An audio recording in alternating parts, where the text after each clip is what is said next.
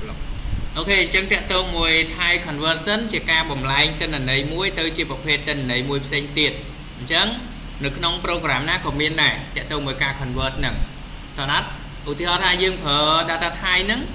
ស្រាប់តែប្រើប្រើទៅដល់លក្ខខណ្ឌណាមួយយើងត្រូវដូរសមាសភាព data type ហ្នឹងទៅជាប្រភេទផ្សេងទៀតអញ្ចឹងយើងត្រូវប្រើ conversion ហ្នឹងហើយ okay ចឹងនៅក្នុងនេះគ្នាយើងលើកយកមកពីរប្រភេទក្នុងការ convert យើងប្រើជា implicit ហើយនិង explicit អញ្ចឹង implicit និង explicit ហ្នឹងគេធ្វើការងារមិនជាមួយនឹងការ convert របស់យើងហ្នឹង okay អញ្ចឹងកន្លែងនេះគ្នាយើងបញ្ជាក់ទៀតការបំលែងប្រភេទ implicit ហ្នឹងគឺត្រូវបានអនុវត្តដោយ okay មានន័យថាយើង okay convert វាដោយស្វ័យប្រវត្តិនៅពេលដែលយើង okay ធ្វើការ convert ហ្នឹង ហើយក្នុងនេះក៏មាន example មួយដែរតកតងជាមួយនឹងដំបូងយើងមាន in 5 in 1បន្តមកទៀតយើងមានតកតងជាមួយនឹង10នៃ5 10មួយបន្តមកយើងធ្វើ implicit conversion គឺយើងឲ្យ5 10ស្មើជាមួយនឹង5 in អញ្ចឹងមានន័យថាលទ្ធផលរបស់យើងដែលទាញបានហ្នឹងគឺយើងទាញបានអា5 10ហ្នឹងคล้ายទៅជា integer automatic មកអញ្ចឹងតើកន្លែងហ្នឹងអត់ អូខេមានន័យថាម៉េចមានន័យថាឧទាហរណ៍នៅកន្លែងនេះអូខេអញ្ចឹងលោកគ្រូមាន in នៃ x in នៃ x អូខេបន្តមកទៀតលោកគ្រូអាសាញ x ហ្នឹងឲ្យវាស្មើជាមួយនឹង10អញ្ចឹងមានន័យថា x វាស្ទាល់ទុកតម្លៃ10អីត្រូវអត់អូខេដល់ពេលហើយគេមាន10 ball 10 ball នៃ a 10នៃ y អូខេហើយយើងឲ្យ y ហ្នឹងវាស្មើជាមួយនឹង x អញ្ចឹងមានន័យថា y ទទួលយកតម្លៃពី x ឬក៏ x បោកតម្លៃទៅឲ្យ y ឯងតើណាត់អញ្ចឹងអា y នេះវានឹងដូរសមាសភាពពី10បលហ្នឹងទៅជា integer ដែរអូខេអាហ្នឹងគឺតាមរយៈ example មួយនេះណា okay អញ្ចឹងលោកគ្រូក៏អត់ទាន់ប្រកាស100%ថាវាទៅអញ្ចឹងដែរហើយសួរថាហេតុអី តម្លៃ double វាអាចជាចំនួនគត់ក៏អាចជាចំនួនទស្សភាគដែរបណ្ណាត់អញ្ចឹងលុះត្រាតែយើងបញ្ច្រាស់វាមកវិញ okay បញ្ច្រាស់មកវិញបញ្ច្រាស់មិន okay គឺយើងឲ្យ double assign តម្លៃ double ជា okay អឺទស្សភាគទៅហើយយើងសាកឲ្យអឺ y ដែលជា10បលហ្នឹងបោះតម្លៃទៅឲ្យ x វិញបើ x នឹងពុតទៅជាទស្សភាគដែរអូខេគឺត្រឹមត្រូវអញ្ចឹងឥឡូវមកតេស្តទាំងអស់គ្នា ចឹងលោកគ្រូដាក់ថា x integer អូខេហើយយើង print វាមួយទៀតហេស៊ីអៅខាងក្រោមចឹងលោកគ្រូដាក់ថា y double គេឲ្យយើងហៅ y ហ្នឹងមកដែរហើយយើងធ្វើការ run វាមកគេក្នុងនេះបាត់ទៀតហើយតកតងជាមួយនឹងកន្លែងនេះរបស់យើង អាចនឹង error ទៀតហើយមើលទៅ error ទៀតហើយនេះអូខេ debug anyway អត់អីទេអាច run បានអញ្ចឹង x a10 អូខេដូចជាបាត់ y អត់ឃើញ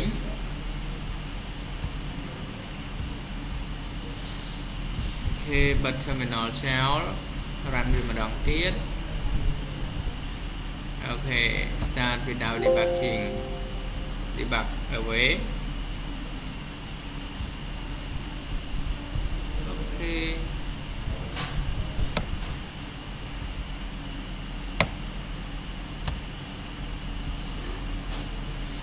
stop debugging okay start debug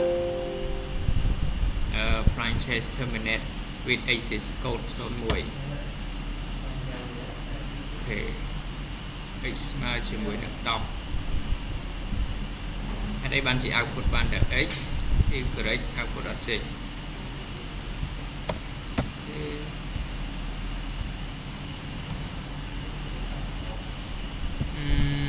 បាត់ប៊ូតុងរ៉ាន់ទៀតគេ y ក៏ស្មើ10ដែរ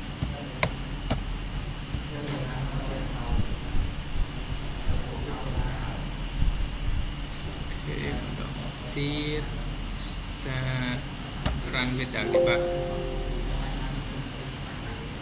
អអូខេអញ្ចឹងវាចាប់តម្លៃបានដូចគ្នា x អា10ចឹងអានេះមានន័យថាវាចាប់យកអ្វីដែលយើងអត់ទាន់អាប់ដេតអញ្ចឹងអាហ្នឹងជាបញ្ហាមួយដែលអូខេត្រូវ check មើល debugging យើងឡើងវិញ stop debug អូខេ run at configuration អូខេអាចយកតែពិត install ឲ្យមួយសាយតែមិនក៏វាអូខេ disable restart extension enable វិញ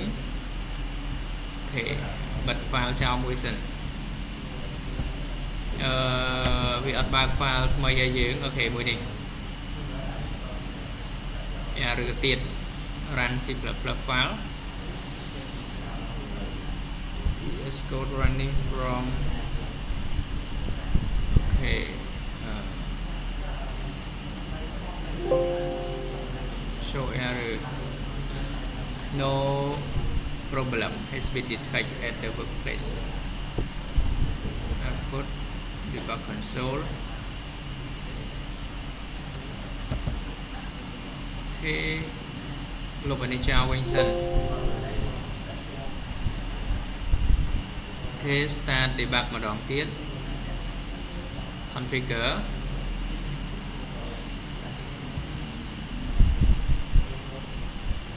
enter job one okay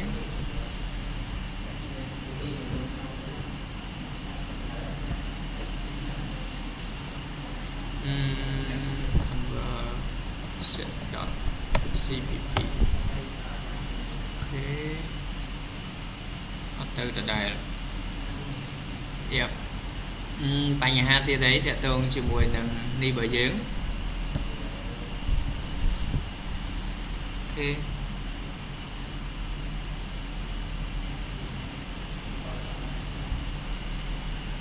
អូខេវាយស្មើ10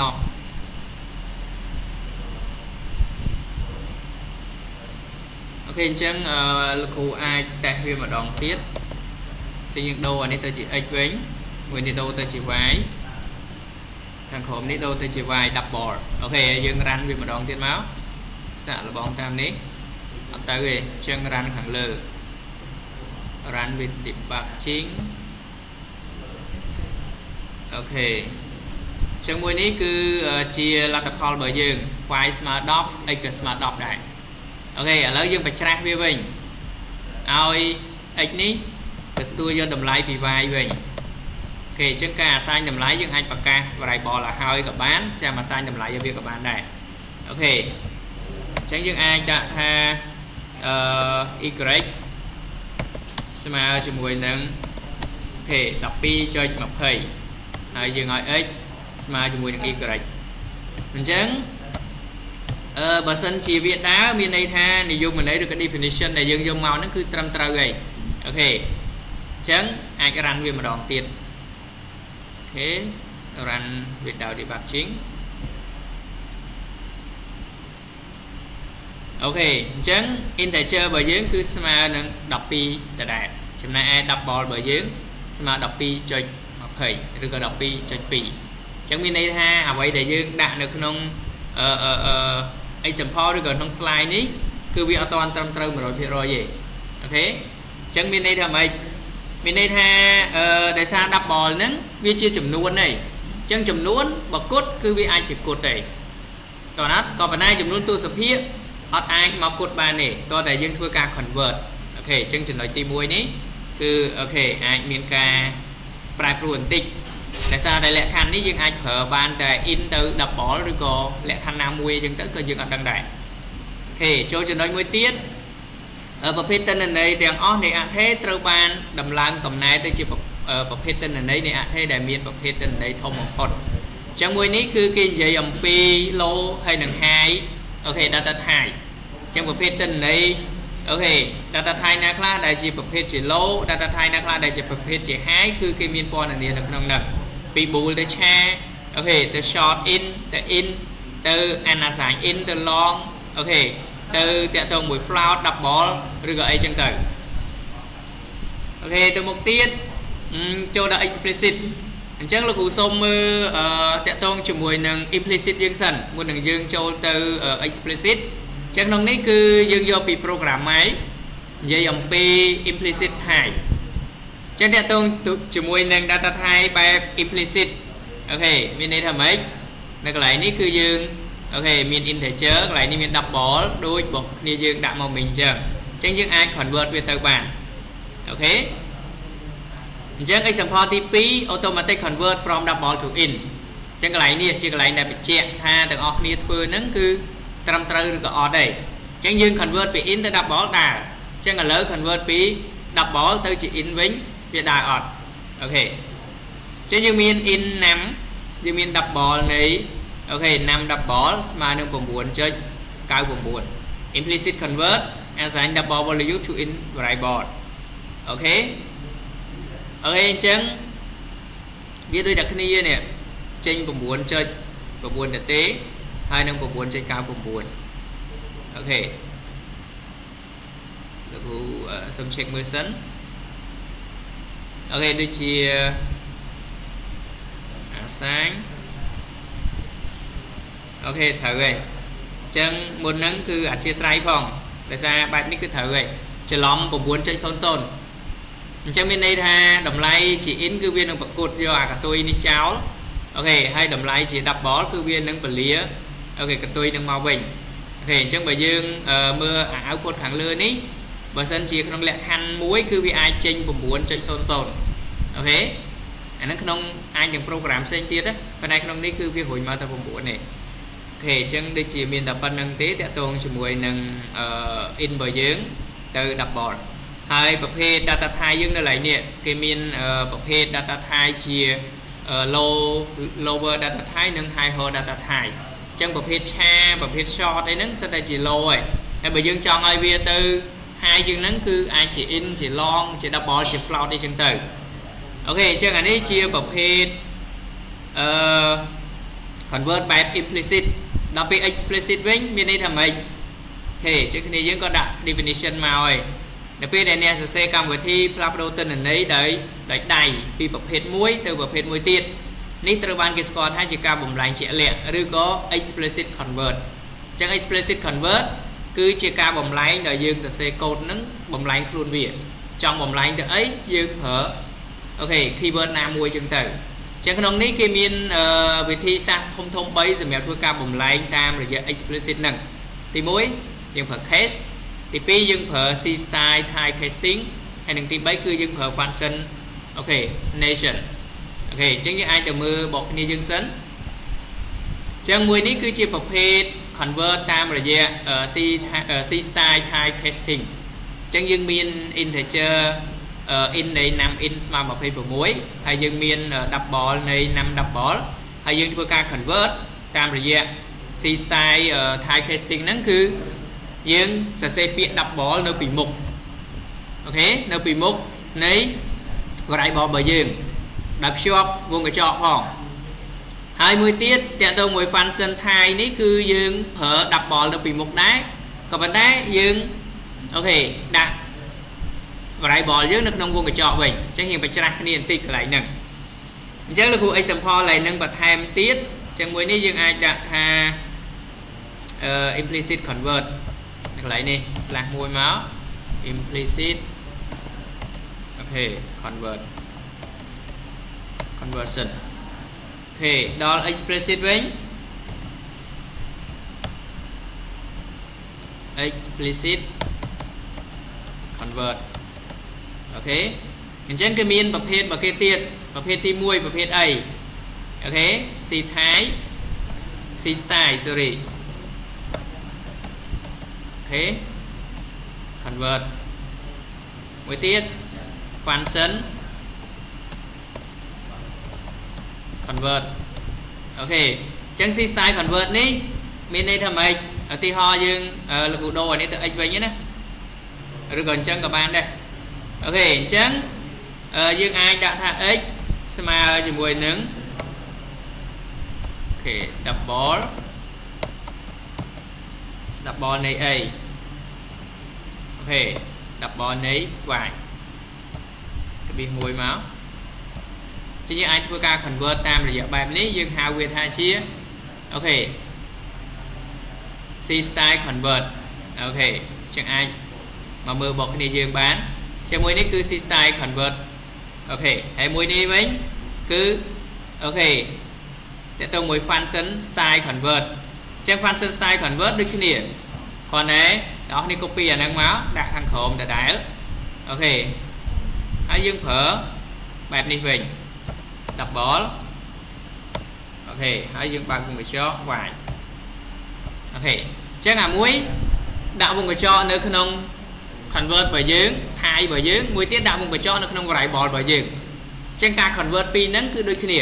គ្រាន់តែ ខុស style គ្នាតែប៉ុណ្្នឹងឯងអញ្ចឹង note ឡើងនឹងទុកទាំងអស់គ្នា OK ពួកអីទៅមុខទៀតទាំងអស់គ្នានឹងអាចប្រើតាក់ទងមួយ style ណាមួយនៅក្នុងហ្នឹងឯងតោះណាត់ OK អញ្ចឹងយើងអាច test style ទី1សិន OK sorry run តាមនេះវិញ ប្រើ program ច្រើនពេកអញ្ចឹងទៅវាវល់ពេញហ្នឹង PHP ក៏ប្រើមួយអាហ្នឹង Python ក៏មួយអាហ្នឹងអូខេអញ្ចឹងមួយនេះ integer បើយើងស្មើ12ហើយតកតងជាមួយនឹង10បលរបស់យើងស្មើ12.2អូខេអញ្ចឹងការ convert យើងគឺដើរដូចគ្នាឥឡូវបិទខាងលើហើយយើងបើកខាងក្រោមវិញអញ្ចឹងយើង convert បែបទម្រង់ function ហើយមើលវាទៅអត់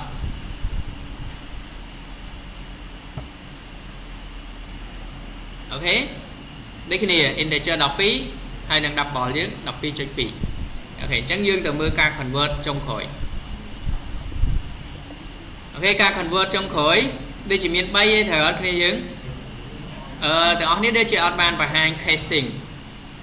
ហេឥឡូវយើងទៅមើល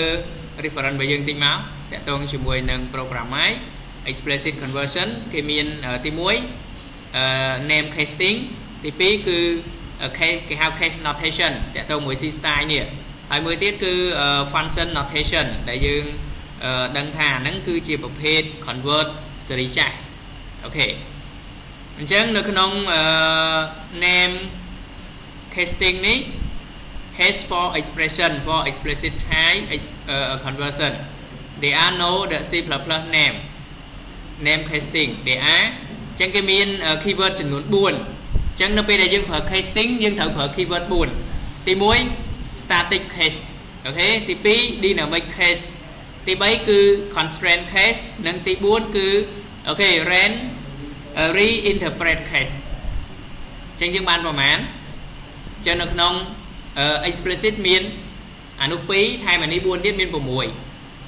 តោះណាណាអញ្ចឹងបើយើងចង់ convert នៅក្នុង អូខេប្រភេទជា explicit យើងត្រូវប្រើ case sorry conversion ចំនួន6ប្រភេទទី1គឺ C style ទី2 function style ទី3គឺ case ចឹង case ហ្នឹងវាមាន4 style ទៀត static dynamic constraint ហើយនឹង reinterpret អូខេចឹងអានេះគឺ example C style បង្ហាញហើយឯង OK មួយនេះគឺ function style ក៏បង្ហាញហើយដែរ អូខេចូលដល់មួយនេះគេនិយាយអំពី type casting ចឹងប្រភេទ case របស់យើងចឹងគេមាន double ជាអូខេ5 double ស្មើប្រហែលចុយចឹងទៅអូខេគេប្រើ C casting គឺយើងប្រើ in នៅពីមុខនេះវានឹងคล้ายជា in ហើយដល់ពេលគេប្រើ function យើងប្រើ in ដែរក៏ប៉ុន្តែដាក់វងកញ្ចក់នៅក្នុង variable របស់យើងអូខេចឹងទៅមុខទៀតគឺតាក់ទងជាមួយនឹង OK អត់ឃើញនិយាយអំពី static casting នេះចឹងបានគ្នាយើងអត់ដាក់មក OK ឥឡូវអាចទៅមើល static casting នេះបន្តិច in C++ ចឹងយើងអាចបែកក្រុមទី3អញ្ចឹងពេលក្រោយបើសិនជាមានយើងគួរតែបញ្ជាក់ប្រាប់គេបន្ថែមតិចតិចទៅបានហើយ OK អញ្ចឹងបើក្នុងនឹងអត់មានទេយើងមកមើលវាក្នុង GeeksforGeeks ចឹងនេះសុទ្ធតែ reference ដែលយើងអាចយកទៅប្រើបានទេតើណាត់ OK អញ្ចឹងក្នុងនេះគេមាននិយាយ static casting dynamic casting const casting និង reinterpret casting OK អញ្ចឹង syntax របស់វា static cast OK អឺ data type របស់យើងហើយនឹង source អញ្ចឹងគេមាន example ឲ្យយើងមួយ OK គឺមាន float នៃ f ស្មើនឹង3.5បន្តមកនេះគេដាក់ថា int នៃ a ស្មើជាមួយនឹង f អញ្ចឹងអានេះចូលក្នុងទម្រង់អីនេះ OK ក្នុងទម្រង់មួយគឺយើងឲ្យ f នឹងបោះតម្លៃទៅឲ្យ a ហើយអត់ទាន់បានធ្វើ casting ណាមួយទេឬក៏ convert ណាមួយទេអូខេទី2គេចាប់ផ្ដើមប្រើ static casting ឯងដែលគេដាក់ថា in b ស្មើជាមួយនឹង static case in នៃ f តើណាត់អញ្ចឹងមួយដុំនេះមួយដុំនេះវាគឺជាអូខេតាក់ទងជាមួយនឹង casting របស់យើងអញ្ចឹងបើសួរថា static casting គេប្រើម៉េចគឺគេប្រើប៉ុណ្នេះ syntax របស់វា static cast int ហើយដាក់ f ចូលមកតើណាត់ OK ចឹងអាហ្នឹងគឺ b គឺយើងត្រូវ convert បាន convert វាទៅជា OK ទៅជាអីទៅជា static បាត់អីឬក៏ទៅជា integer បាត់អីតោះឡើយហ្នឹងអត់ OK ចឹងបងប្អូនគ្នា អាចប្រើអាចាស់របស់យើងក៏បានឬក៏ទៅ copy របស់គេក៏បានដែរចឹងលោកគ្រូបិទអានេះមួយចឹងតមកទៀត static casting អូខេចឹងយើងអាចអឺឥឡូវយើងមានអីយើងមាន in in នៃ x ស្មើជាមួយនឹងឥឡូវលោកគ្រូអាសាញតម្លៃ x វិញអឺ10ល្អជាងឥឡូវដាក់10នៃ x អូខេ10នៃ x OK ហើយយើងឲ្យ in នៃ y វិញអូខេហើយបន្តមកទៀតយើងអាសាញតម្លៃ10នៃ x ហ្នឹងស្មើប្រមាណចឹងទៅអញ្ចឹងលោកគ្រូដូរ output យើង y int ហើយនឹងនេះគឺ double OK បន្តមកទៀតយើងធ្វើការបែបទម្រង់ជា static អញ្ចឹងយើងត្រូវ declaration variable ថ្មីមួយទៀតមកឧ ទាហរណ៍លោកគ្រូមាន in នៃ b អូខេបន្តមកទៀតលោកគ្រូអាសាញ b ស្មើជាមួយនឹង static នេះ static case អញ្ចឹងវាមាន keyword ក្នុងនឹងស្រាប់តមកទៀតលោកគ្រូចង់ convert អូខេវាទៅជា integer ហើយយើងដាក់ variable name យើងយើងចូលមកចង់ convert អីគឺចង់ convert x អញ្ចឹងយើងដាក់ x ក្នុងនឹងមកហេអញ្ចឹងអា b នេះក៏វាទទួលយកតម្លៃ x ដែរក៏ប៉ុន្តែ x នឹង convert ខ្លួនវានឹងទៅជា integer ឲ្យឲ្យ b ហ្នឹងតើអត់អូខេអញ្ចឹងយើងអាច test វាបន្តិចមកអញ្ចឹង output កន្លែងនេះអាចថែមមួយទៀតអូខេ in dr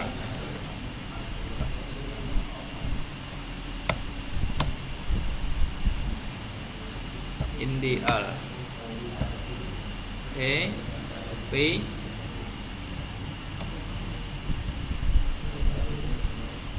D C V អញ្ចឹង B របស់យើង B convert អូខេ save វាមួយមក output តម្លៃ B ដែរអូខេហើយយើងអាច run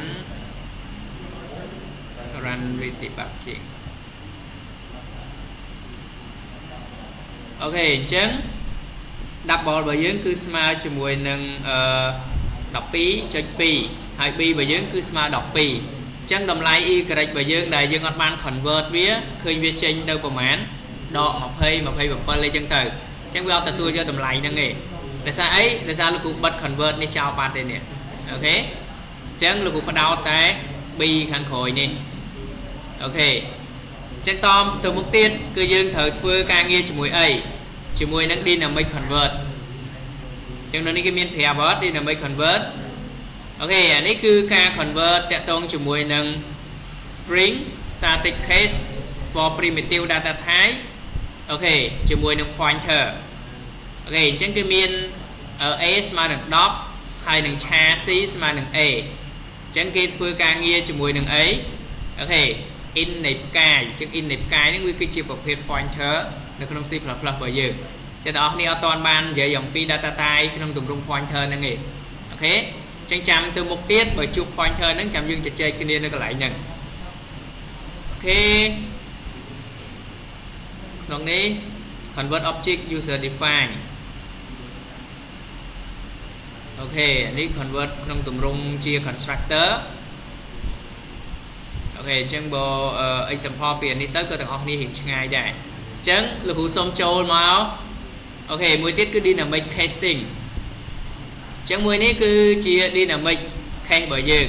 អញ្ចឹង syntax របស់វាមាន cast type expression ឬក៏ cast type expression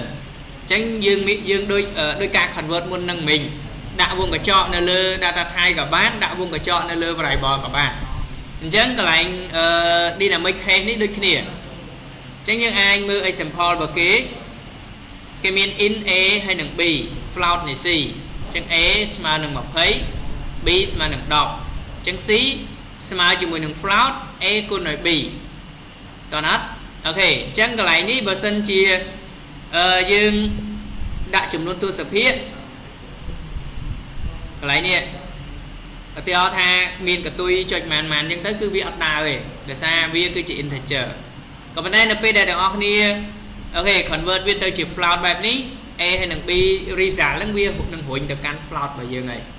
អញ្ចឹងឧទាហរណ៍ថា float ស្មើជាមួយនឹង in បូកឲ្យ in ឬក៏ in គុណនឹង in អញ្ចឹងក៏វាអត់ចេញលទ្ធផលមកជា float ដែរអូខេក៏ប៉ុន្តែនៅពេលដែលយើងចង់ឲ្យលទ្ធផលនឹងទៅជា float អូខេឬក៏ double យើងត្រូវ convert វាកន្លែងនេះមួយអញ្ចឹងរបៀប convert ក្នុងទម្រង់ dynamic គឺគេប្រើបែបហ្នឹងយើងដាក់ float នៅពីមុខអញ្ចឹងបើយើងមើលទៅថាវាដូចទម្រង់អីដូច automatic conversion បើយើងមិញអញ្ចឹងក៏ប៉ុន្តែ អូខេអានេះគឺវា convert ក្នុងទម្រង់បែបនេះបានមាន variable 2ធ្វើការកណនាមួយគ្នា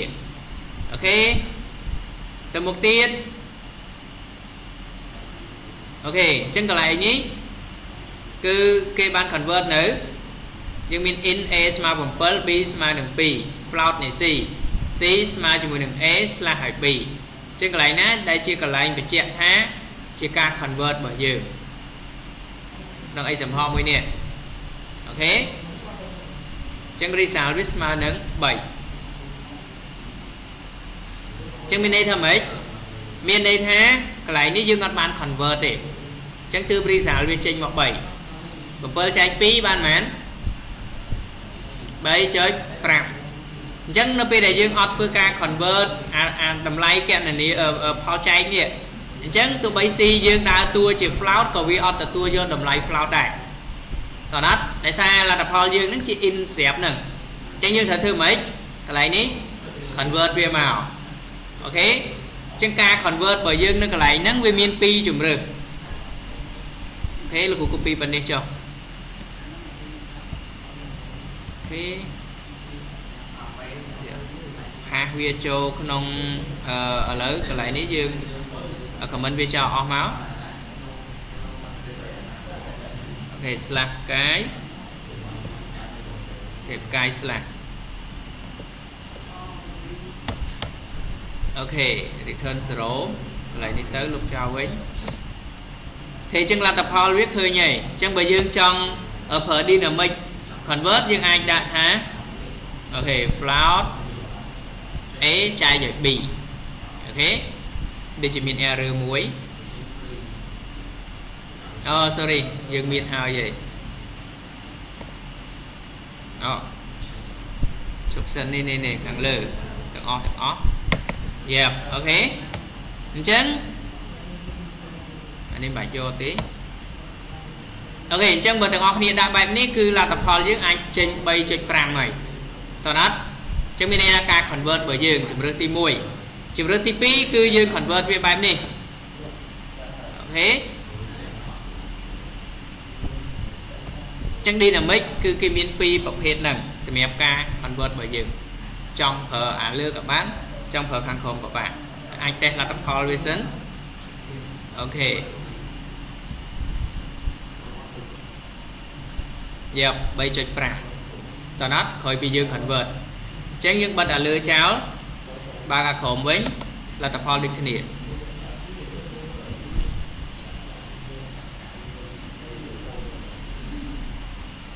អូខេ3.5ដូចគ្នាអូ sorry 3ចុចអូខេអញ្ចឹងបើ3ចុចទៅទេមានន័យថា convert នេះអត់ត្រូវទេ syntax មួយហ្នឹងអញ្ចឹង style ទី2របស់វាបែបម៉េចអូខេគេប្រាប់ syntax យើងគឺអញ្ចឹងទេ cast type expression ត្រូវទេណា ជាហេតុអីបានជាអត់ដើរអូខេអញ្ចឹងឥឡូវ syntax ទី1ដើរនៅ syntax ទី2ទៅរកមើលសិនទៅមានអត់មួយនេះ dynamic case new type expression up case derive អូខេ dynamic casting bass D1 អូខេ dynamic ដូចជាអត់ឃើញប្រើជាមួយនឹង thai ធម្មតាយើងទេ អត់មានទេអូខេចានេះសិស្សកម្រិតជាមួយនឹងប្រភេទ variety class ប្រភេទអឺ constructor ឬក៏ប្រភេទអីផ្សេងទៀតអញ្ចឹងបើយកមកបង្ហាញទាំងអស់គ្នាតតែយើងចប់ OOP សិនបានអាចមើលពពួកនេះយល់អូខេអញ្ចឹងខាងមុខខាងលើមិញគេនិយាយពី class ដល់បន្តមកទៀតឥឡូវគេ convert class ហ្នឹងទៅជាអីផ្សេងអញ្ចឹងទៅ អូខេអូខេ dynamic dynamic អស់ហើយអញ្ចឹងយើងទៅប្រភេទ thai មួយទៀតអូខេបញ្ជាក់ខាងលើដែរប្រើជាមួយនឹងនេះ dynamic អូខេ can write a structure programming and object oriented programming អូខេអញ្ចឹងអានេះតតែយើងចូលដល់កម្រិត OOP បានយើងអាចប្រើ dynamic នឹងទៅស្រួល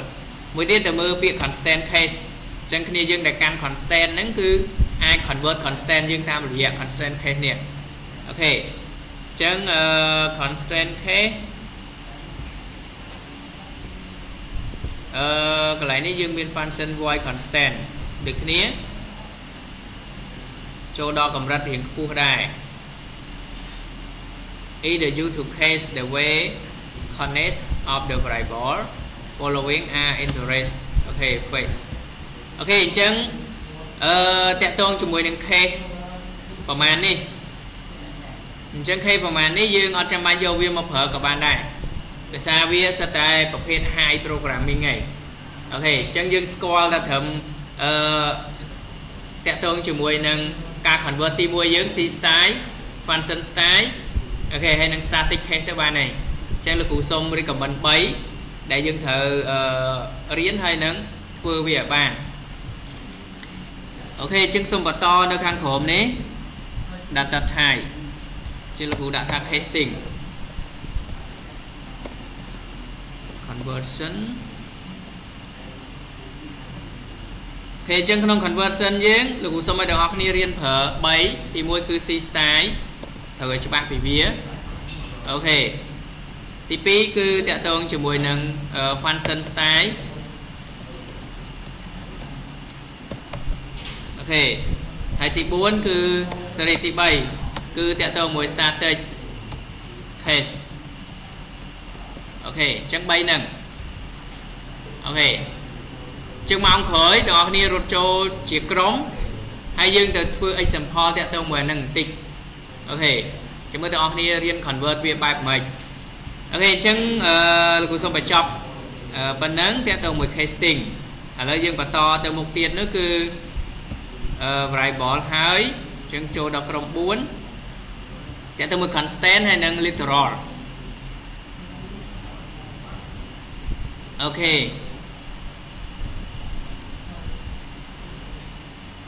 ចឹង constant ជាមួយនឹង literal គ្នាយើងអាចឲ្យនិយមន័យបានថាម៉េចអូខេ constant នៅក្នុង C++ អូខេសំដៅទៅលើអថេដែលមានតម្លៃថេដែលមិនអាចផ្លាស់ប្ដូរបានចឹងមានន័យថាវាជា variable ដែរបើគេនិយាយពី constant ណាក៏ប៉ុន្តែជា variable មួយដែលមានតម្លៃរបស់វាស្រាប់ហីតោះណាអូខេចឹងយើងអាចផ្លាស់ប្ដូរតម្លៃវាបានទេ មួយទៀតគេថានៅពេលដែលពួកវាត្រូវបានកំណត់នៅក្នុងកម្មវិធីពួកគេនៅតែថេពេញមួយការប្រតិបត្តិនៃកម្មវិធីអូខេអញ្ចឹងមានន័យថាម៉េចមានន័យថាឧទាហរណ៍ថា2ស្គាល់2អត់តម្លៃ2ឬក៏ផៃនៅក្នុងគណិតវិទ្យាយើងអញ្ចឹងវាប្រែប្រួលបានអត់ដល់តម្លៃហ្នឹង3.14ហ្នឹងគឺវានៅរហូតអញ្ចឹង constant គឺគេសំដៅទៅលើពពួកហ្នឹងឬក៏អាចមួយទៀតជា literal ចឹងយើងមើលឲ្យចប់សិនថា constant និង literal វាខុសគ្នាមិនទៅគឺអាចបែងចែកបានទេពួកវាអាចជាប្រភេទទិន្នន័យដែលមាននៅក្នុង C++ ដូចជា int char string ជាដើមអូខេចឹងមួយនេះគឺ C constant ទាំងអស់គ្នាយកតាក់ទងជាមួយ constant របស់ C យកមកប្រើហើយចាំតិចទៀតចាំយើងទៅមើលតាក់ទងជាមួយនឹង C++ វិញអូខេចឹងមួយនេះគឺប្រភេទ literal ម្ដង literal គ្នាយើងដាក់ថាជាធាតុមូលដ្ឋានដែលត្រូវបានប្រើដើម្បីតំណាងឲ្យតម្លៃអថេដែលប្រើក្នុងភាសាសរសេរ C++ អថេទាំងនេះអាចរួមបញ្ចូលជាលេខអក្សរអូខេនិងច្រើនទៀតការយល់ដឹងនិងការប្រើប្រាស់ literal គឺចាំបាច់នៅក្នុង C សម្រាប់កំណត់ទិន្នន័យការកណនានិងតំណាងទិន្នន័យពួកវាមានវត្តមានជាត្រឹមត្រូវក្នុងការប្រតិបត្តិចាត់តាំងអូខេអញ្ចឹងអត់ស្ទាន់ច្បាស់ទេតើទៅមួយកន្លែងនេះ អូខេទី2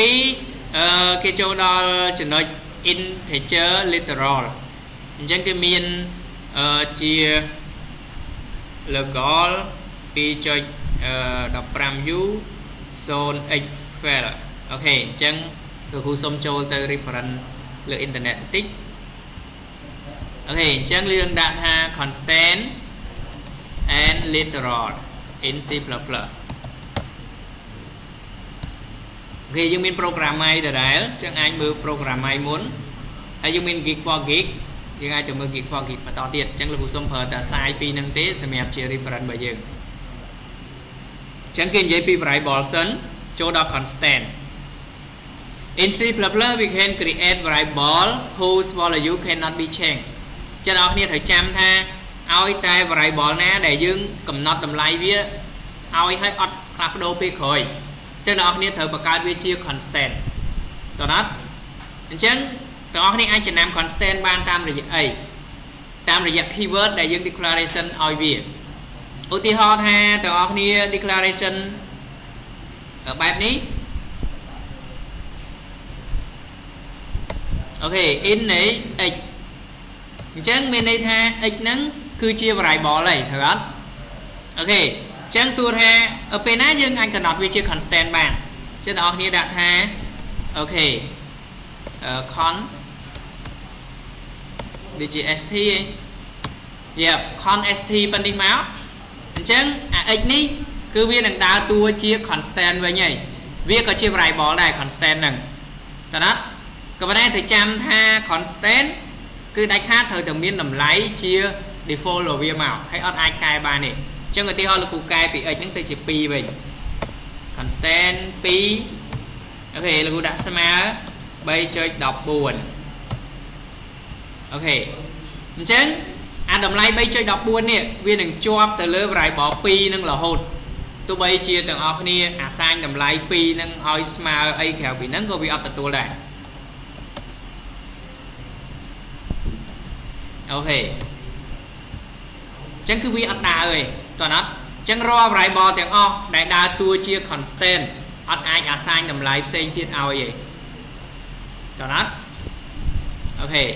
ចុះឧទាហរណ៍ទាំងអស់គ្នាមានរូបមន្តតាក់ទងមួយ rayon ឬក៏ cosinus ឬក៏ tangent okay ឬក៏ sin អញ្ចឹងយើង assign តម្លៃឲ្យវាឲ្យហើយអញ្ចឹងវាត្រូវតែដើរតួជា constant ទេ okay ចឹងតនឡើងនឹងទាំងអស់គ្នា constant ចឹងខ្លីៗងាយយល់ okay បន្តមកទៀតយើងនិយាយអំពី literal វិញចឹងគេដាក់ថា literal are data used for presenting fixed value okay they can be used direct in the code for example 1 2.5 c extra គេដាក់ថា here 1 2.5និង c are literal ហើយគេសួរថាហេតុអី you cannot assign different value to this term អូខេអញ្ចឹងយើងអាចទៅមើលប្រភេទ literal ជា integer អញ្ចឹង literal ជា integer គឺមាន3ប្រភេទទី1 decimal base 10មានន័យថាគោល2គោល8និងគោល16អញ្ចឹងអាហ្នឹងគឺជាប្រភេទ literal ហើយតើណាត់ហើយ literal ហ្នឹងមានន័យថាម៉េចអូខេមានន័យថា យើងប្រើតាក់ទងមួយការ convert ឧទាហរណ៍យើងសរសេរពាក្យថា 0x នេះ 0x7f នៅក្នុង coding របស់យើងទៅវានឹង convert ទៅជាចំនួនប្រមាណចឹងទៅអូខេអញ្ចឹងក្នុងនេះ decimal គឺមានតម្លៃ digit វាចាប់ពី0ដល់ដក9ឬក៏ដល់9បើជាវិជ្ជមាន9បើអវិជ្ជមានគឺដក9ហើយតម្លៃមួយទៀតគឺ22ចានេះគឺជាការកំណត់នៅក្នុង literal របស់យើងអូខេអញ្ចឹងគេប្រាប់ថានៅក្នុង C++ programming optal របស់យើងចាប់ដើមពីអូខេ0ហើយ hexa បើយើងចាប់ផ្ដើមពី0នៃ x ចឹងបើទាំងអស់គ្នាឃើញតម្លៃណាដែលមាន0នៅពីមុខវាគឺជាប្រភេទ octal value ដែលជា literal អូខេបើឃើញតម្លៃណាដែលមាន 0x នៅពីមុខចឹងវាគឺជាតម្លៃរបស់ hexadecimal ដែលវាគឺជា literal value របស់យើងហ្នឹង តើណាត់អូខេចឹង note 2នឹងទុកសិនទី2គឺ float point ចឹង float point literal is a number literal that has either a functional from a form or an okay exponent exponent for uh, form ចាំមានន័យថាតកតងជាមួយនឹង float point នេះគឺគេប្រើវាសម្រាប់ធ្វើការងារជាមួយនឹងប្រភេទអូខេអឺតកតងមួយ fractional អាចរកមើលពាក្យនឹងមួយហើយនឹងប្រភេទមួយទៀតគឺ exponential okay អញ្ចឹងអឺអាចមើលពាក្យនេះមួយមក okay ពេលខ្លះប្រែអត់ចេញទៀតដោយសារពាក្យបច្ចេកទេសក្នុងគណិតវិទ្យាប្រភេទ okay អញ្ចឹងមានន័យថាយើងប្រើវាសម្រាប់ជាចំនួនទស្សភាគអីហើយនឹងមួយទៀតគឺជាចំនួនជាមួយនឹង exponential ពីស្វ័យគុណប្រមាណអីប្រមាណអញ្ចឹងទៅអញ្ចឹងអាហ្នឹងគឺជា float point literal របស់យើងហើយអូខេសម្រាប់មួយទៀតគឺ character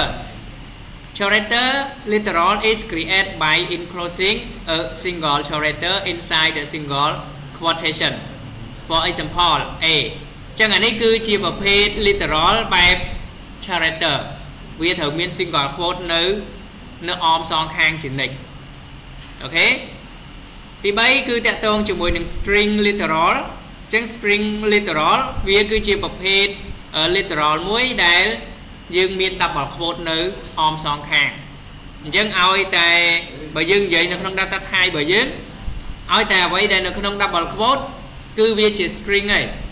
ដល់ពេល string literal វិញអូខេវាមានជាប្រភេទ string constant ធម្មតា null string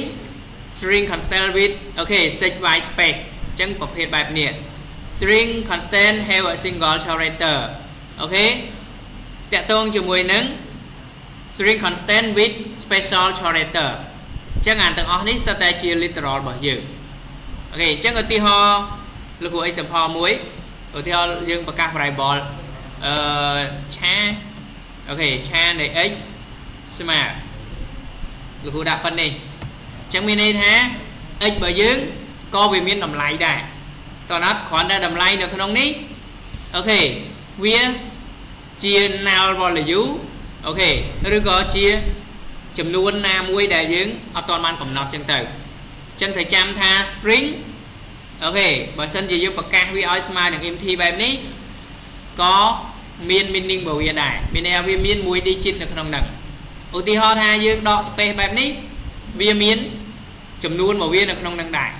អញ្ចឹងបើដក space បែបហ្នឹងគេហៅថាអូខេ string constraint with set white space ចាហ្នឹងជាប្រភេទ literal របស់យើងអូខេនៅនេះអត់មាន example ទេយើងអាចមកមើល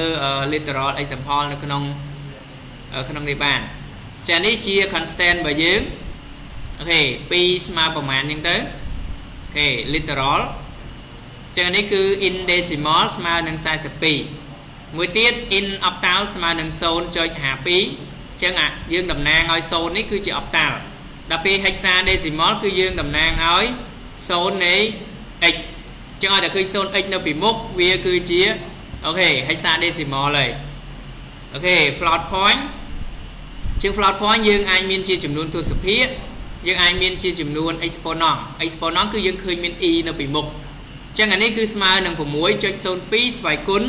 23តើណាត់ចឹងបើយើងចង់លើកស្វ័យគុណយើងប្រើ e នៅកន្លែងហ្នឹង okay មួយទៀតគឺតកតងមួយ character literal អញ្ចឹងគឺយើងអាចប្រើជាមួយនឹងនេះ single quote បែបនេះអញ្ចឹងអាហ្នឹងជាប្រភេទ literal អូខេ literal មួយដែរដែលជាប្រភេទ character ដល់ប្រភេទជា string វិញគឺវាមាន double quote នៅពីមុខវិញអូខេអញ្ចឹងអានេះជា literal ហើយជា constant ទៀតនៅក្នុងនេះមាន boolean literal ដែរ គឺ true ហើយនឹង false អញ្ចឹងយើងប្រើតម្លៃតែពីរនឹងទេ true false នៅក្នុងការងាររបស់យើងokay នេះគឺការប្រៀបធៀបរវាង constant ហើយនិង literal អញ្ចឹង definition constant មានន័យថាជា name value with fixed unchanged value ចំណែក literal វិញជា actual value ហើយ direct use in code អូខេមានន័យថាតម្លៃដែលយើងអាសាញឲ្យវាជាក់ស្ដែង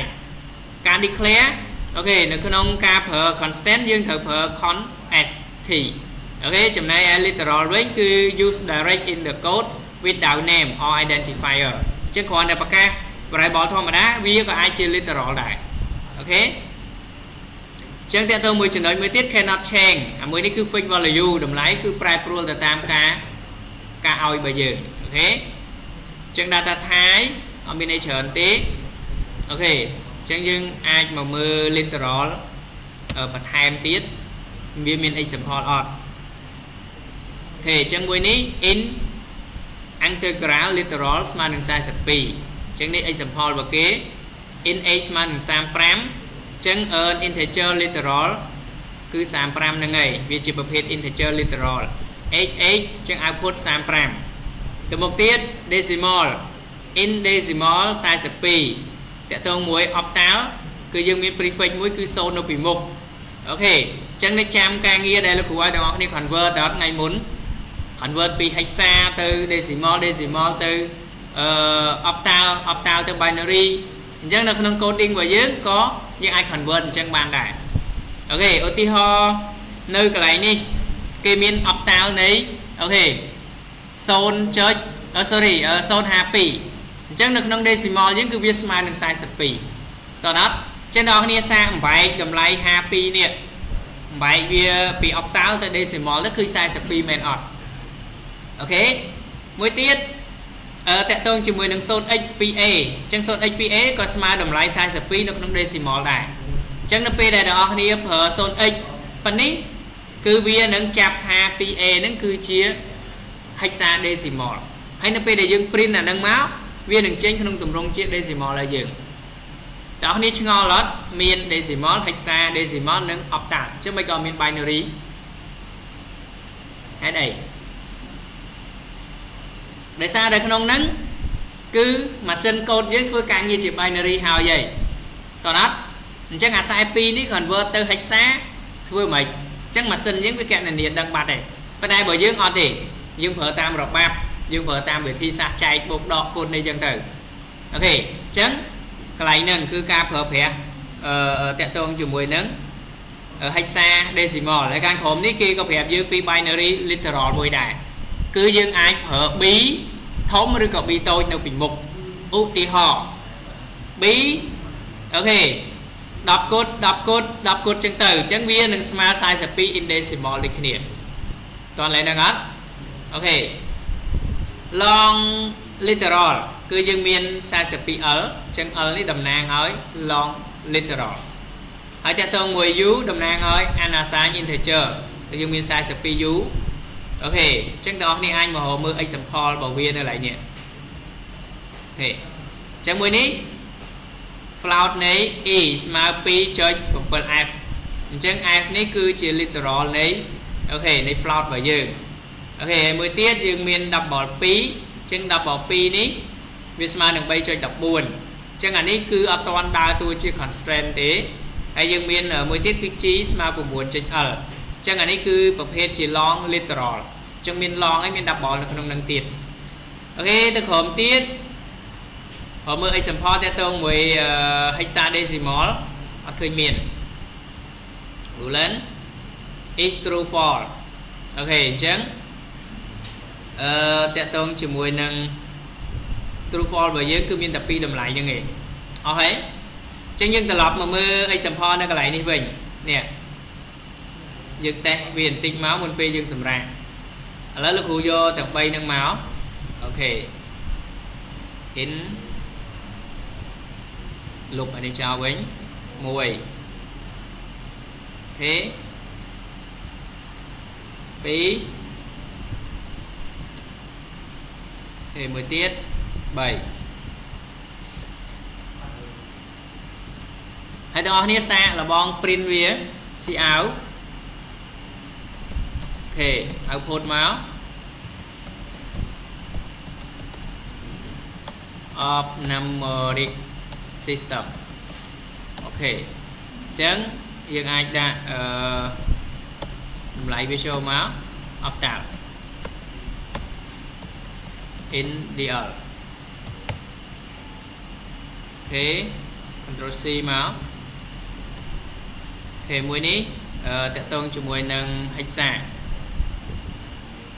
hexadecimal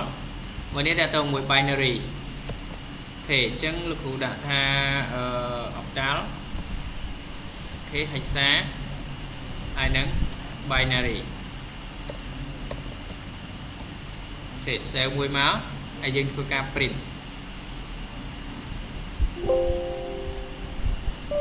អឺទៅទៀតអី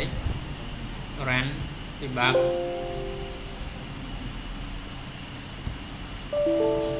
អឺ open launch json OK copy វាយកមកដាក់ខាងនេះ OK សូមដាក់ខាងនេះវិញខាងនេះមានពាក្យ run run with the debugging អូខេទៅហើយចឹងចាំមើល output វាគឺខ្សែ2ដូចគ្នាតើអត់ជំមានន័យថាវាបំលែងអាចំនួននេះទៅជា42ចុះឧទាហរណ៍ថាលោកគ្រូសួរទាំងអស់គ្នាតម្លៃ10បំលែងទៅជាអូខេ decimal ឃើញប៉ុន្មានអញ្ចឹងវានឹងកណនីឲ្យយើងនៅកន្លែងនេះអូតូម៉ាទិកឯងអត់ចាំធ្វើការកណនីទៀតទេតើអត់អូខេឧទាហរណ៍លោកគ្រូសួរតម្លៃ AA នៅក្នុង hexadecimal អញ្ចឹង convert មកជា decimal យើងវិញឃើញតម្លៃប្រមាណតើអត់អញ្ចឹងតន់ឡើយហ្នឹងណាអញ្ចឹងអាចសាកល្បង test មើលបានអញ្ចឹងពេលដែលគេដាក់ numeric system ទាំងអស់គ្នា compile វានៅក្នុង C++ ដោយប្រើប្រាស់បែបហ្នឹងអញ្ចឹង hexadecimal នៃ AA គឺស្មើជាមួយនឹង170អូខេហើយ octal នៃ10គឺស្មើជាមួយនឹង8 OK អញ្ចឹងមានប៉ុណ្ណឹងសម្រាប់ការងារ literal របស់យើង OK អញ្ចឹងអត់ច្បាស់អាចសួរបានណាហើយបន្ទាប់ពីនឹងទៀតគឺយើងមានតកតងជាមួយនឹងក្រុម comparison ឬក៏ operator ចឹង operator ថ្ងៃមុនក៏ដូចជាអត់សូវអឺលំអិតដែរ OK ដោយសារគ្នាយើង demo លឿនបន្តិច OK ចឹងក្នុងនេះលោកគ្រូឃើញថាលើកយក operator មក detail ច្រើនមានរហូតដល់ទៅ6ដែលមាន arithmetic relation relational OK logical bitwise ហើយនឹង assignment ហើយនឹង misc operator ទៀត OK អញ្ចឹងអឺតកតទៅមួយ operator ហ្នឹងទាំងអស់គ្នាលើកមកច្រើនក៏ប៉ុន្តែអត់បាន detail ថា arithmetic operator ហ្នឹងវាមាននិមិត្តសញ្ញាមិនខ្លះចឹងអ្នកគ្នាត្រូវស្គាល់និមិត្តសញ្ញាទាំងអស់ហ្នឹង relational operator ហ្នឹងមាននិមិត្តនិមិត្តសញ្ញាអីខ្លះសម្រាប់យើងប្រើ OK ចឹងឥឡូវសម្រាប់សិន មកវិញចាំបន្ត operator បញ្ចប់ហើយយើងមាន homework 2ទៅទៀត OK អរគុណច្រើន block OK អញ្ចឹងយើងអាចតម្លើង program នេះមួយមកសម្រាប់ធ្វើការងារជាមួយនឹងអឺ control flow statement របស់យើងនេះអូខេអញ្ចឹងអាច right click លើវាហើយយើង run as administrator យកពាក្យ yes មក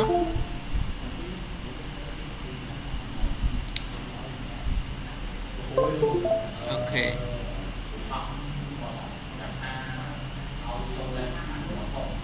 ជួយលេបអនុវត្តអូខេដែលសារទាំងអស់គ្នាអត់មានកុំព្យូទ័រគ្រប់ត្រូវអត់អឺឥឡូវគួរតែចូល lab ឬក៏អឺគ្នាយើងនៅបន្ទប់នឹងធម្មតាដោយសារ lab អាចនឹងអត់គ្រប់គ្នាដដែលទី1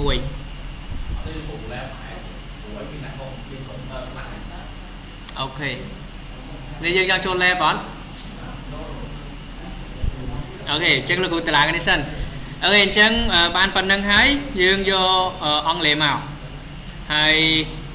អឺដូចជាអស់ហើយមានតែប៉ុណ្ណាបើកមកប្រើយកមកអូខេជាការងាររបស់យើងមានន័យថាម៉េចនេះអាចមក design វាចុះឥឡូវយក file ហើយ new file មួយមកដូចជាអត់ទៅ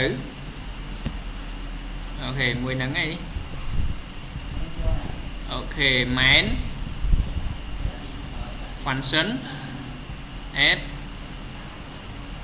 អូខេអូខេឥឡូវ check មួយសិនសាក់ run វាមួយមកអត់ទៅទេអឺ fast speed medium អញ្ចឹងលោកគ្រូដាក់ថា if add If អឺមួយនេះបង្កើតបាន function អូក្នុងនេះ start control ឥឡូវ add មួយទៀតមកជាមួយនេះយើងអាចដាក់ឈ្មោះទេមួយនេះក៏ដាក់ឈ្មោះដែរ function name start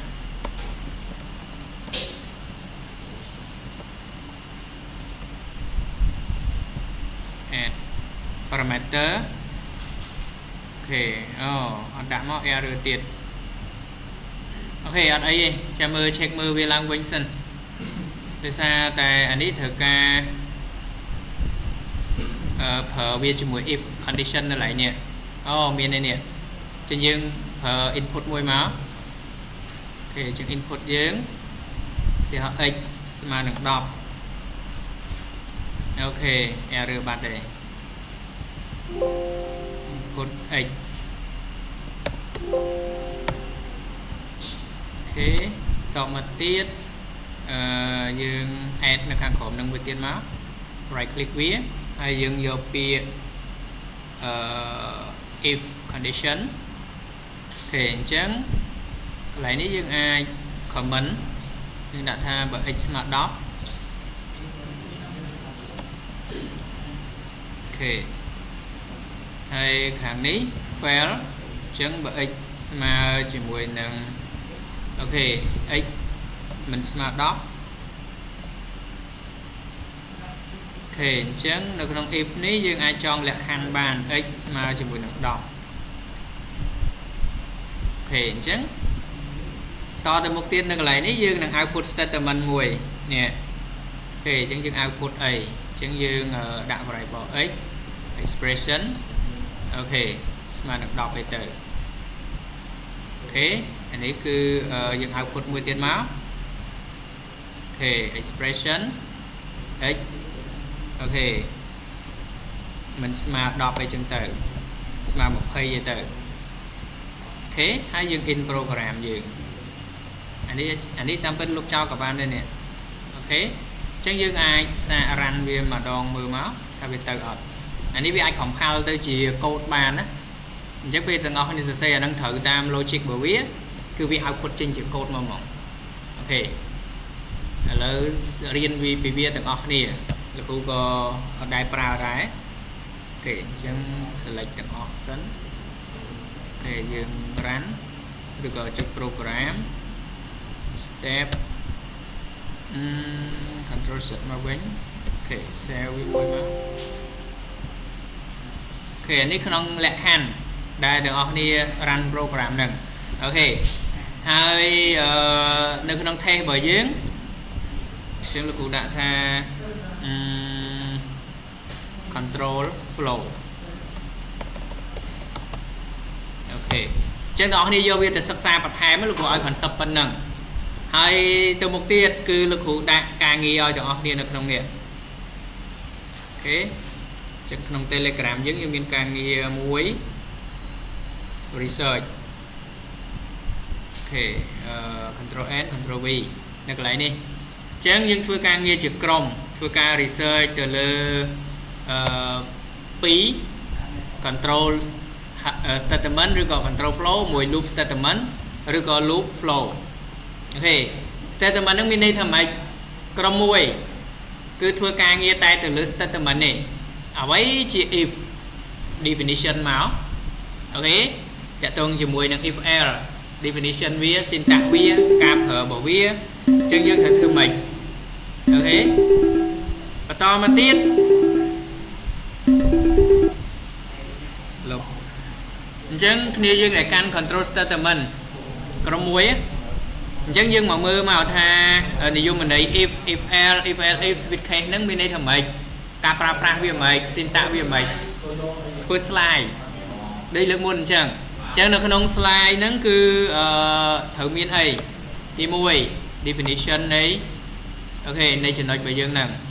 អញ្ចឹងសុំ detail បន្តិចមកទី2តកតងជាមួយនឹងអីតកតងជាមួយនឹង usage syntax syntax របស់វាអូខេអញ្ចឹងដើម្បីសរសេរ if statement គេប្រើ syntax មិន ហើយ usage ការប្រើប្រាស់របស់វាហើយនៅចុងក្រោយគឺ real example អូខេចឹងបងប្អូនអាចបែងចែកជា4នាក់សម្រាប់ធ្វើបទបង្ហាញនៅក្នុងក្រុមឬក៏ម្នាក់ក៏បានដែរហើយកាន់ផ្នែករៀងៗខ្លួនមកអញ្ចឹងសម្រាប់ research ឬក៏ presentation លើកទី2នេះសូមឲ្យមាន real example ចប់អាចចូលទៅ Visual Code ឬក៏ចូលទៅ Programming ឬក៏ចូលទៅ Dev សរសេរ code example ឲ្យគេជាក់ស្ដែង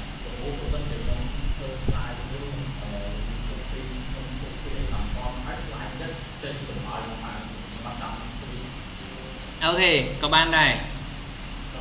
យេប៉ុន្តែត្រូវមាន example ហ្នឹងនៅក្នុង dev របស់យើងមកឬក៏នៅក្នុង Visual Code មកអញ្ចឹងក្រោយពី present ចប់យើងមានមួយ slide ចុងក្រោយគឺ demo អញ្ចឹងពេល demo ចូលទៅ code run ឲ្យគេមើលអត់សរសេរបើទីហោថាអឺបើយើងចាយពេលសរសេរ ត្រូវខាតពេល5នាទីអញ្ចឹងយើងរៀបចំ file នឹងទុកហើយ if.cpp ifl.cpp អញ្ចឹងគ្រាន់តែបើក file if ហ្នឹងទៅ run OK អញ្ចឹង if ហ្នឹងវាដើរអញ្ចឹងខ្ញុំឲ្យ x ស្មើ10ដល់ពេលយើងដាក់ if x ស្មើ20អញ្ចឹងវាអត់ចេញអា block if ហ្នឹងវារត់ទៅ block l អូខេអញ្ចឹងបញ្ជាក់ប្រាប់គេអញ្ចឹងហើយ run មួយទៅវាចេញអញ្ចឹងមែនអញ្ចឹងអាហ្នឹងគឺ demo ហ្នឹងហើយឬក៏ real example ហ្នឹងហើយតើណាត់អូខេអញ្ចឹងតនឡើយហ្នឹងគ្នាយើង definition អូខេអញ្ចឹងបន្តទៀតគឺក្រុម2អញ្ចឹងក្រុម2គឺរៀងពិបាកបន្តិចក្រុម2ក្រុម4អញ្ចឹងឧទាហរណ៍ឥឡូវយើងបាន if ហើយ if l អូខេ flow អញ្ចឹងក្រុម2គឺធ្វើទៅលើការងារមួយនេះមួយនេះ អូខេអញ្ចឹងយក symbol របស់ if មកមួយហើយបញ្យល់ប្រាប់គេថានៅលើ flow chart ហ្នឹងគឺវាចាប់ដើមមិនវាបញ្ចប់មិន OK អញ្ចឹងនៅពេលដែលវា true រត់ទៅមិនវាធ្វើ statement មិនតោះណា OK អញ្ចឹងក្រុម2គ្រាន់តែបញ្ជាក់អានេះទេហើយគ្នាយើងមានសិទ្ធសួរក្រុម1 OK អឺ condition នៅកន្លែងណា syntax របស់ខ្ញុំ if condition ដែរ អញ្ចឹងយើងដាក់អីនៅលើ condition ហ្នឹងOK ឬក៏អាចប្រើ program programming របស់យើងនេះអាចប្រើអានេះក៏បានដែរសម្រាប់ក្រុម1អឺ sorry ក្រុម2ក្រុមដែលធ្វើ flow អូខេអញ្ចឹងអានេះ start ដល់ពេលយើង input x ស្មើប៉ុន្មានគឺជាកន្លែងប្រកាស variable បន្តមកទៀតយើងឲ្យ x ស្មើប៉ុន្មានគឺជាកន្លែងធ្វើ condition អឺទៅមួយទៀត x ស្មើ10នេះគឺជា output របស់យើងបើយើង compare មកវាជា cout OK អញ្ចឹងតនឡើយហ្នឹងណាក្រុមដែលកាន់ loop ដូចគ្នាឧទាហរណ៍លោកគ្រូប្រើ for loop in c flow អូខេអញ្ចឹងមួយនេះគឺជា loop របស់យើងអញ្ចឹងយើងមាន for loop អូខេសម្រាប់ក្រុមមួយតមកទៀតយើងមានតកតងជាមួយនឹង flow chart បែបនេះអញ្ចឹងយើងបញ្យល់គេមក flow chart នឹងមានន័យថាម៉េចគេប្រើបែបម៉េចអីបែបម៉េចហើយមាន real example ដូចគ្នា គឺ real example របស់ក្រុម2ហើយនិងក្រុម4ហ្នឹងគឺនៅលើមួយនេះ flow algorithm តើណាអញ្ចឹងក្រុម2ធ្វើ slide បន្តិចទេ if if l if l if uh, if if l if l if និង switch uh, switch case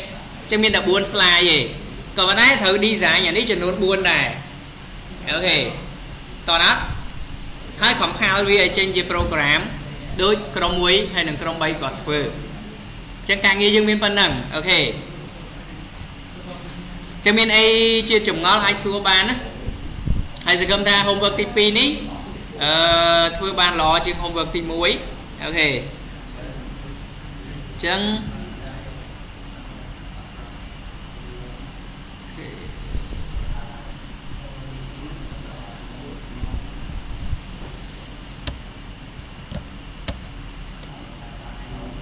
អូខេអញ្ចឹងសូមទាំងអស់គ្នា check កន្លែងនឹងឡើងវិញឬសូម edit and indentation B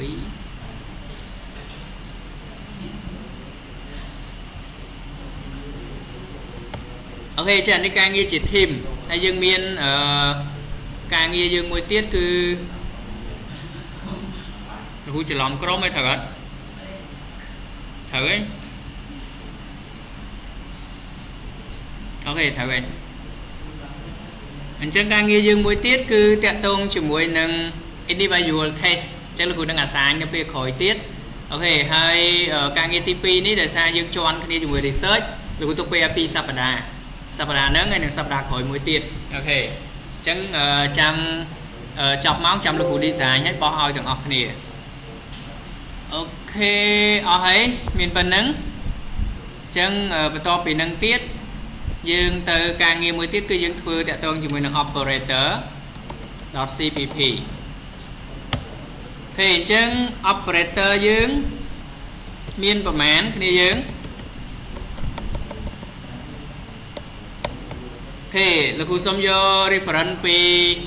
program ម៉ៃក៏បានឬក៏ gig for gig ក៏បាន operator in C++ ខេអញ្ចឹងមើលក្នុងនេះសិនមើលក្នុងនេះសិនថាវា detail ពី operator យើងអត់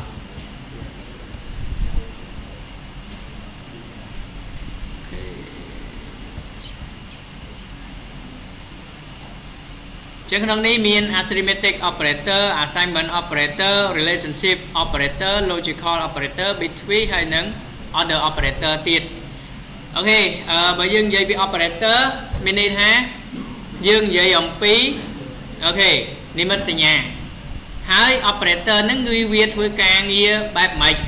គឺវាធ្វើការងារជា operand អូខេអញ្ចឹងមានន័យថា a បូក b បើយើងនិយាយភាសាឲ្យត្រូវគឺ operand a បូកជាមួយនឹង operand b តើណាត់អូខេអ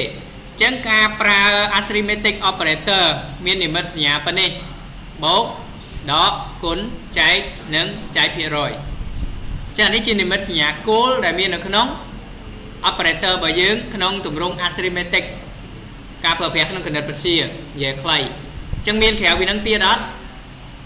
មានអញ្ចឹងទាំងអស់គ្នាលើកយកមកបន្ថែមមកឧទាហរណ៍ថា2 exponent នៃ4ចាហ្នឹងក៏ជា operator operator ដែរយកវាទៅ compare មួយអីមួយអញ្ចឹងទៅ OK ទី2 OK ឥឡូវនៅក្នុង arithmetic នេះ divide division នេះចែកនេះហើយនឹងចែកភាគរយនេះមានន័យថាម៉េច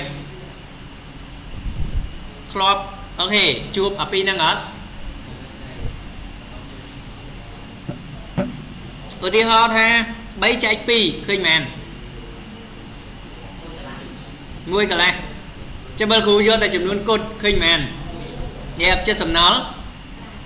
កន្លះអូខេ ចឹងឥឡូវយើងមកសួរថាបើយើងដាក់ភាគរយវាចេញអីគឺវាចេញកន្លះបើយើងដាក់អឺអាសញ្ញាអូខេសញ្ញាចែកហ្នឹងគឺវាចេញ1តើណាត់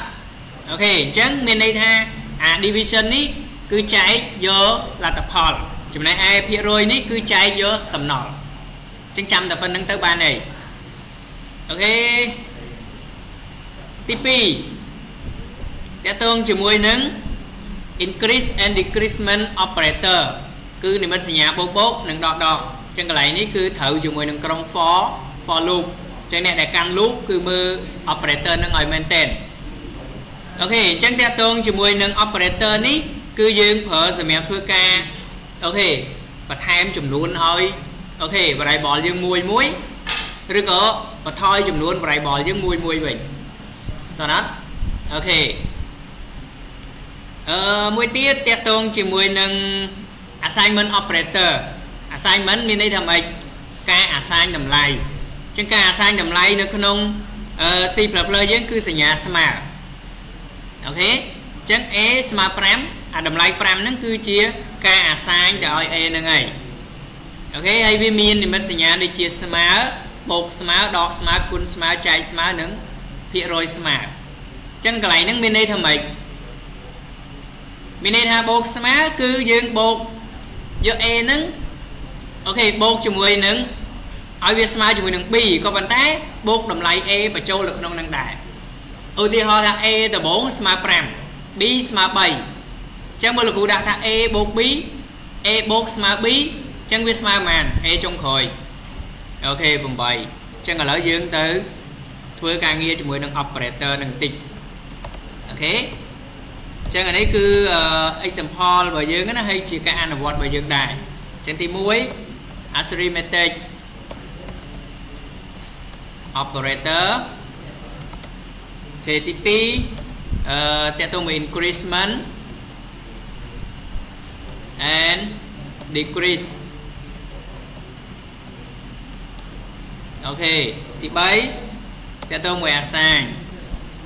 OK អញ្ចឹង decrease និង increase មានបូកបូកនិងដកដក OK អានេះមានបូកដកគុណចែកនិងចែកភាគរយ OK អញ្ចឹង assignment នេះមានអីមានស្មើបូកស្មើ OK ដកស្មើចែកស្មើភាគរយស្មើ okay អញ្ចឹងយកមក3នឹងសិនអូខេ include អូខេពីពីលើមកលឿនជាងខេ return 0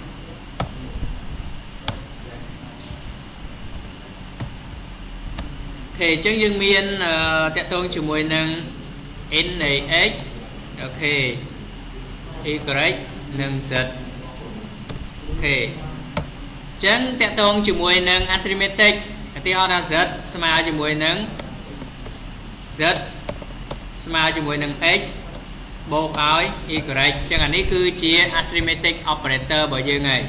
អញ្ចឹងតម្លៃយើងអាសាញឲ្យវានៅកន្លែងនេះមកឬក៏យើងចង់អាសាញពី keyboard អាចអាសាញបានតោះណាត់អញ្ចឹង x ស្មើនឹង10អូខេហើយ y ស្មើជាមួយនឹង2អញ្ចឹងលទ្ធផលរបស់វា C out output អូខេ Z A ខេហើយយើងហៅ set មក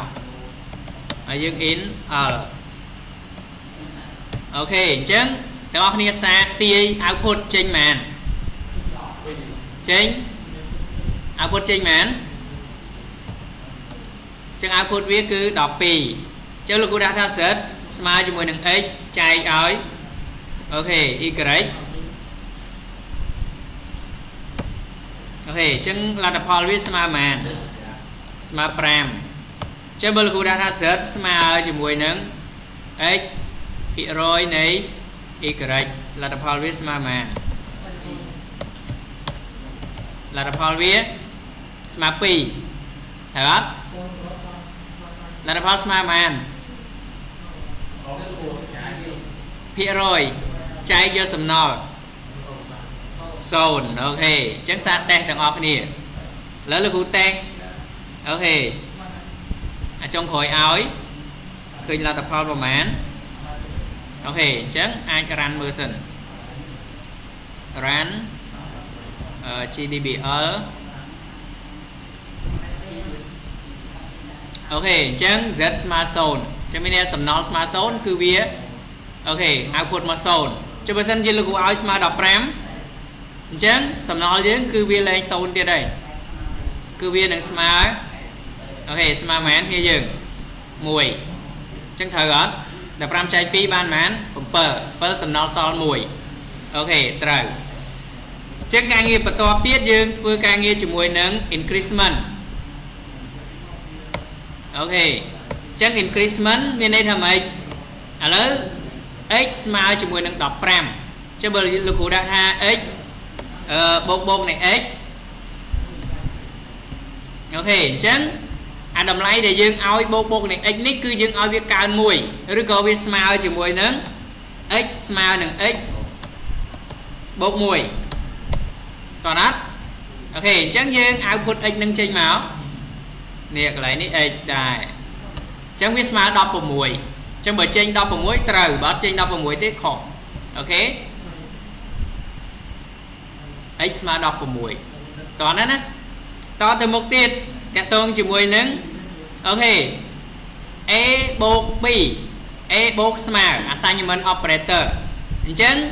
បើលោកគ្រូដាក់ថា okay កន្លែងនេះគឺ okay បិទវាវិញចូលមួយទៀត x ស្មើ15អញ្ចឹងលោកគ្រូដាក់ថា z ស្មើជាមួយនឹង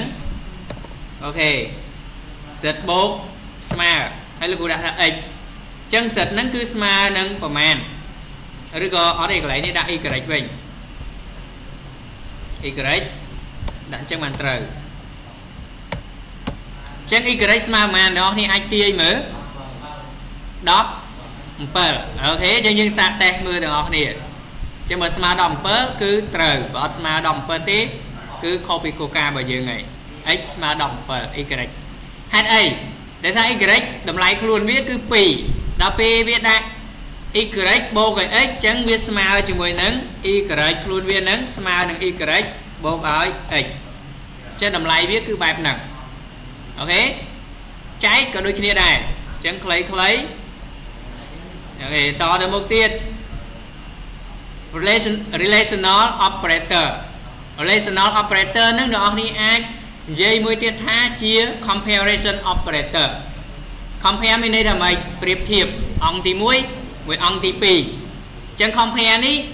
អូខេយើងអាចធ្វើការងារជាមួយនឹងអីអាចធ្វើការងារជាមួយនឹង if condition ស្មើពីរដង equal អូខេឧទានស្មើ not equal អត់ស្មើទេធំជាង greater than ទូជាង less than ធំជាងឬស្មើ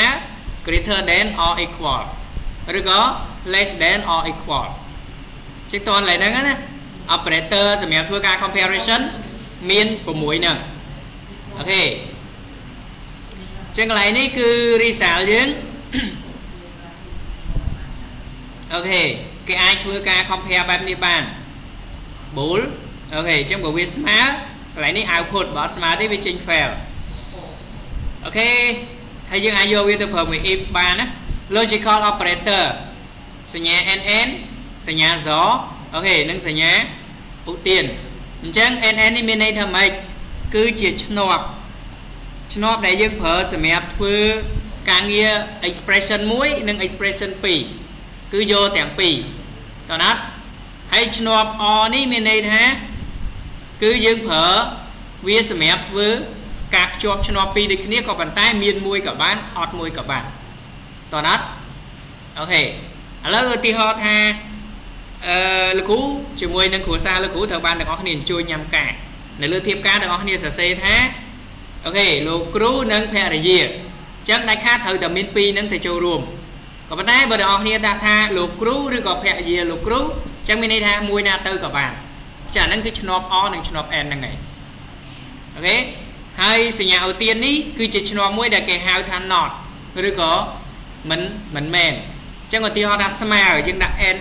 សញ្ញា not នឹងនៅពីមុខទៅវាចេញមិនស្មើតើណាត់អូខេ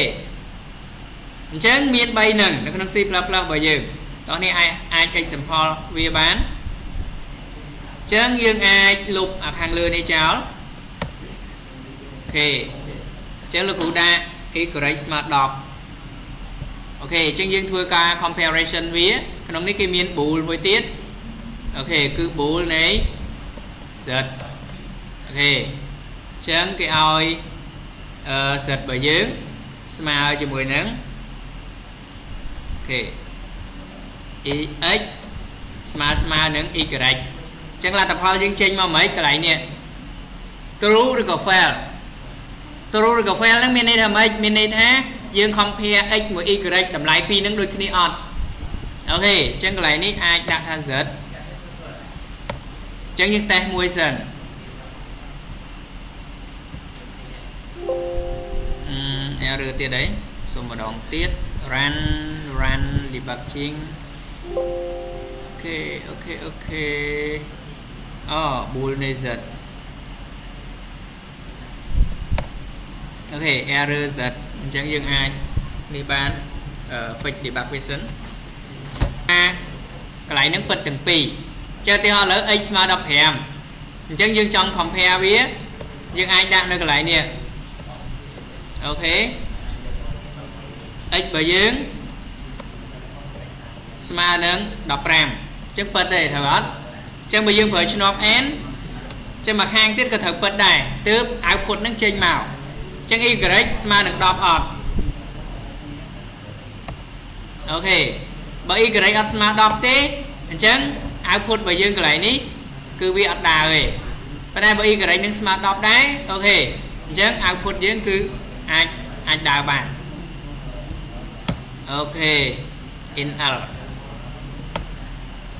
អឺប៉ុណ្ណឹងយើងសាកតេស្តវាមើលមកអញ្ចឹង result យើងនឹងចេញមក true ឯងokay នេះមួយ true ក៏ប៉ុន្តែបើសិនជាឧទាហរណ៍ថាកន្លែងនេះបងប្អូនគ្នាដូរវាទៅ15ដែរមានន័យថាអង្គទី1និងអង្គទី2ហ្នឹងគឺមាន1 fail ឯងអញ្ចឹងវានឹងទាញទៅ fail អូខេវិធីសាស្ត្រអឺសម្រាប់ compare n ហើយនឹង o មានមួយទៀតបងប្អូនគ្នា note ទុក okay អានេះគឺមួយដែរអញ្ចឹងមានន័យថា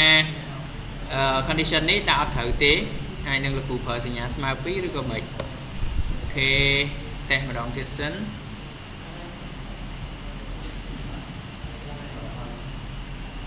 OK ចេញ15 result R15 OK អញ្ចឹងការ comparison របស់យើងគឺខុសបន្តិច OK អញ្ចឹងលោកគ្រូឲ្យ tip មួយសម្រាប់សម្រាប់អាឆ្នប់ n និងឆ្នប់ o ហ្នឹងតើអ្នកត្រូវចាំថាឆ្នប់ n គឺអាចស្មើនឹងសញ្ញាគុណ ចុះឧទាហរណ៍1គុណ0 0ឆ្នប់ o ស្មើនឹងសញ្ញាបូក1បូក0នៅតែ1ដដែលទេតោះអត់អញ្ចឹងនៅពេលទាំងអស់គ្នាប្រើឆ្នប់ពីរហ្នឹងទាំងអស់គ្នានឹកឃើញអារឿងហ្នឹងទៅគុណហើយនឹងបូក o គុណ n បូកអូខេអញ្ចឹងទៅក្រោមទៀតយើងមានតកតងជាមួយនឹង between operator សញ្ញា n1 o1 ហើយនឹងសញ្ញាសមួយនេះហើយនឹងសញ្ញាមួយទៀតនេះអូខេហើយនឹងសញ្ញាបែបនេះអញ្ចឹងវាគឺជាប្រភេទ between operator ហើយយើងប្រើតកតងមួយ between operator នឹងសម្រាប់ធ្វើអីOK អញ្ចឹង bitwise operator are used to perform operation on individual bit អញ្ចឹងយើងធ្វើការងារជាមួយ binary OK អញ្ចឹងបើយើងឃើញ AND 1 គឺជាប្រភេទ binary AND ឃើញ OR 1 ជាប្រភេទ binary OR ឃើញសញ្ញានេះគឺជាប្រភេទសញ្ញា binary XOR OK អញ្ចឹងសម្រាប់ operator វានៅមាន other operator ទៀតដូចជា sizeof អញ្ចឹងអាហ្នឹងគឺយើងប្រើវានៅ OOP ដូចជា OK សញ្ញាសួរហើយចុច OK ដូចជាសញ្ញា entity នេះ OK ហើយថែម num ពីក្រោយអញ្ចឹងទៅអញ្ចឹងវាជា address of សញ្ញា dot OK អញ្ចឹងវាគឺជាការ access structure សញ្ញានេះគឺយើងប្រើវាសម្រាប់ pointer OK សញ្ញានេះប្រើសម្រាប់ output សញ្ញានេះប្រើសម្រាប់ input អញ្ចឹងបើយើងនិយាយអានេះមាន2នៅខាងលើ ខាងលើនេះមានមួយទៀតអញ្ចឹងយើងប្រើវាបែបម៉េចអញ្ចឹងមើលទៅលើស្ថានភាពដែលយើងទៅសេកូដតើណាត់ថាកូដយើងយើងដាក់បែបម៉េចហើយយើង compile វាបែបណា អូខេអញ្ចឹងសម្រាប់ operator មានប៉ុណ្ណឹងហើយគ្នាយើងដែលត្រូវទៅធ្វើតាក់ទងជាមួយនឹងអឺ homework យើងឬក៏តាក់ទងជាមួយនឹង research របស់យើងអញ្ចឹងអាចរៀបចំអឺឲ្យបានល្អជាងសប្តាហ៍មុនបន្តិចដោយសារតែលើកនេះយើងមានតាក់ទងមួយទាំង flow យើងមានទាំងអឺ syntax អញ្ចឹងសង្ឃឹមថាទាំងអស់គ្នាអាចអឺ ធ្វើវាតន់ហើយបានក្បោះក្បាយ